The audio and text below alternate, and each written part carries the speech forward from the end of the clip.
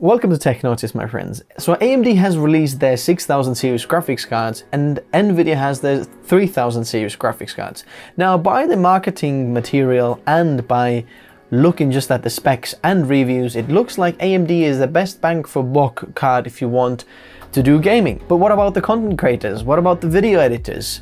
Is it the same situation or story there about the Nvidia and AMD or is it slightly different? The big question is, if you're a content creator, especially the video editor on Premiere Pro or DaVinci Resolve, should you go with AMD or Nvidia? You're gonna find out. So in this video, we're gonna be looking at the two most popular programs in the world, the Premiere Pro and DaVinci Resolve. We want to answer the simple question, which one should you go for, AMD or Nvidia? But if you want to know which one is the best bang for buck card for your budget, then stick around, hit that subscribe button. We're going to get to that in another video where we're going to look at which cards are better and how much performance gain you're going to get with each card. Said that, I'm going to leave some of my recommendations in the description as well as some of the performance gain by percentage and also the budget. So you can see in the description there's a Premiere Pro and DaVinci Resolve and which cards I recommend to, for you to get. But to answer the question very, very simply, should you go with NVIDIA or AMD? Then the colors actually represent which one should you go for. AMD, red, NVIDIA, green. So if you are a content creator and video editor, whether you are on Adobe Premiere Pro or DaVinci Resolve, you should go with NVIDIA cards. And we're going to look at some of the specs and performance uh, analysis in a moment. But that is the simple question. In fact, if you are a content creator in any program, you should go with NVIDIA. Now, I don't, I personally don't see any reason why you should go with uh, AMD if you want to do professional work, content creation, um, you know, video editing, 3D, any any professional application. I don't see a point with going AMD. Now, said that, if you are a gamer and you're doing, you know, 50-50 or things like that, content creation a bit, and then, you know, video editing, then that question should be slightly different. You have to kind of answer the question to yourself, which one do you do more, and then decide which one should you go for. Now AMD cards are probably best bang for buck for gaming. AMD uh, Nvidia cards are best bang for buck and you know better at video content creation. Now said that Nvidia is still good for gaming but probably a slightly more expensive. But then ask yourself which one do you do more? Video editing or gaming and then that should answer your question. Also, I'm going to leave all the specs in, on the screen here right now, uh, so you can see, you know, all the NVIDIA cards and uh, AMD cards, the latest ones that have been released. Uh, NVIDIA is probably releasing some new cards soon, or by the time you watch this video, there might be more NVIDIA cards out, but then you know, stay tuned for update of this video.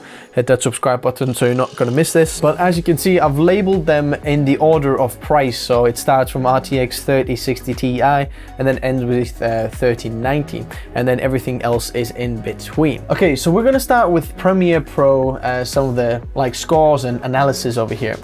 So on the top, uh, top right over here, you can see that we have the, the prices laid out and the cards. And then on the score, the blue cards are NVIDIA. I know it's slightly uh, confusing, they should be green, but here you are, they are blue. I made the Radeon cards or AMD cards red, so it's very easy to distinguish which ones are which. So as you can see on top of this chart over here, there's pretty much like a line that goes between and then all the top is green and then all the bottom is red. Now the more interesting thing is that even the newer AMD Radeon RT RX uh, you know 6000 cards are not even matching the Nvidia's last generation cards in the content creation world. As you can see 2080 Ti over here is better than the uh, 6900 XT. I know there's the 6900 XT has a bit more video RAM than our 2080 Ti, but apparently it doesn't matter in Premiere Pro so much. The more interesting thing is now we have one uh, Nvidia card over here which is the 3060 Ti and looking at the price over here this is $399.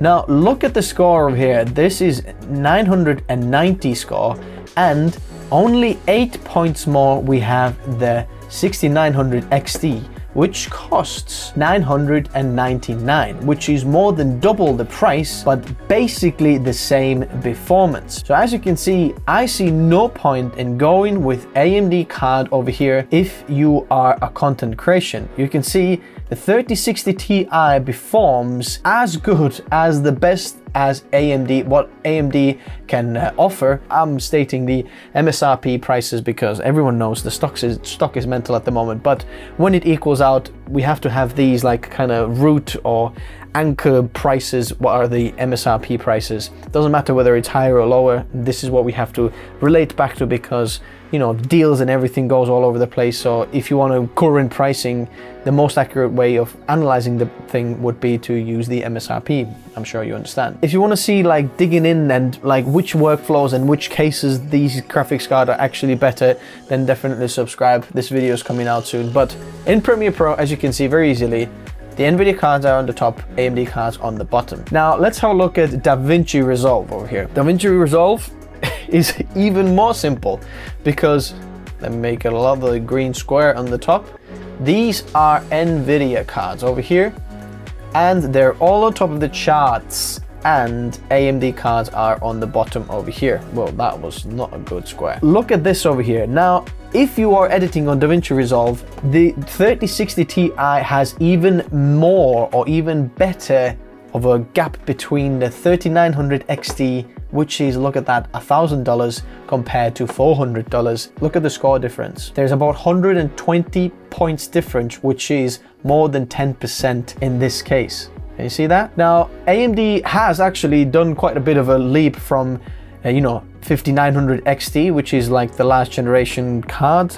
And you can see there is quite a big of a jump to 6800 XT and 6900 XT there, there is a bit of a bigger jump over here. But what is interesting is that all of the AMD cards perform essentially the same as you can see. There is not that big of a difference between 6800, which is like the lowest card AMD has at the moment for $579 over here, or the 6900 XT over here, which cost $1,000, pretty much double the price, but look at this, only about 30 points difference, which is less than 5% difference. So hopefully you can see that whether you're editing on DaVinci Resolve or Premiere Pro, you should be going with NVIDIA graphics cards. Now, if you do want to pick one up, I'm going to leave the link in the description below where you can pick one up and which one should you pick up for your price. Check it out below. To underline what I've just said, AMD cards have been 100% basically utilized and marketed and made for the gamers. Now Nvidia cards have been meant for gamers and content creation, but if you're a content creator or any professional application user on your PC, then it is a very obvious choice. Go Nvidia, not AMD. Hopefully this made it very clear to you which card you should go for and you're much happier now because the question for you is answered. Now, if you enjoyed this video, hit that like button. It actually makes a difference. Subscribe if you haven't already, and I'll see you in the next video. See you soon.